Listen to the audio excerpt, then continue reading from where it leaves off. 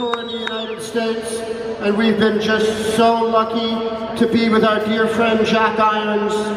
Um, I've known him since I was 11 years old, and I love him with my heart. And um, I don't know what the fuck you're talking about.